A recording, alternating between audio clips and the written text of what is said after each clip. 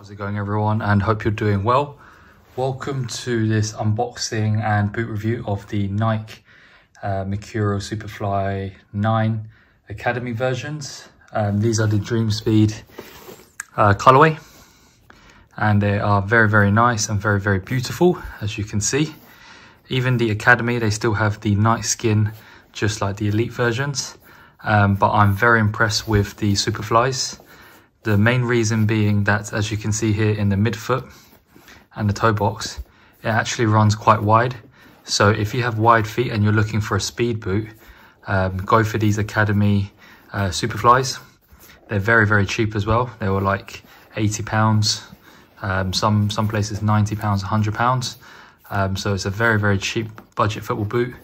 Um, much cheaper than the 250, 260 for the elite versions. Um, and they're just as good and comfortable um, like the elites. Now the Academy, the collar here, as you can see, is very, very soft um, compared to the elite versions, which is very stiff, especially also in the heel area. Um, the Academy, the heel, the heel at the back and the heel cushion is soft, so you won't get any blisters when wearing these football boots, even when you first use them. Um, after two to three training sessions, the material will soften and the boot will mold into your foot. When I was wearing the elites of these, I got blisters at the back of my um, foot here, or back of my heel. And yeah, it was very, very uncomfortable for, you know, a few days.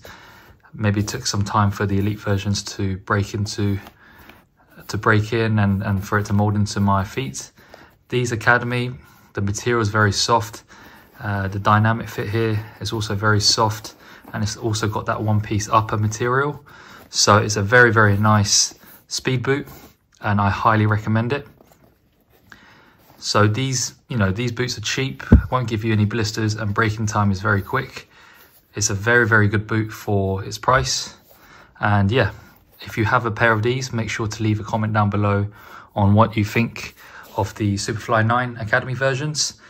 And even if you have the soft grounds, do comment down below as well, as people may want to play on wet pitches when it's the winter season, as that always helps out people watching the video make a decision on which boot they're going to buy.